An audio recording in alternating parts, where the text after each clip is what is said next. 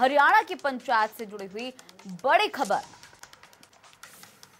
पंचायत में महिलाओं को मिल सकता है आरक्षण।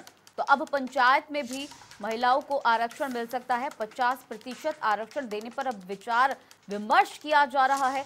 बीजेपी विधायक दल की बैठक में इस बात को लेकर चर्चा भी हो चुकी है और इस पर इसको संज्ञान में लाया गया है।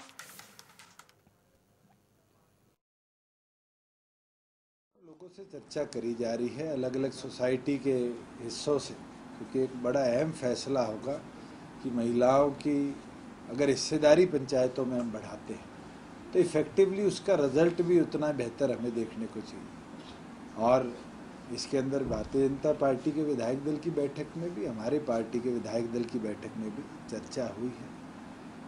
और जैसे ही लोगों का भी कंसेंसस इस पर आ जाएगा फिर सरकार इस पर कदम उठाने का काम करेगी मगर ये ज़रूर आप मान कर चलिए कि जो quality of working of panchayat थी, पिछले डिसीज़न के बाद जब एजुकेशन क्लॉज डाला गया, उसमें इम्प्रूवमेंट आया और ख़ास तौर पर जहाँ महिला सरपंच थी, वो गाँव तो अपने आप में अलग अलग दिशा में मॉडल बने।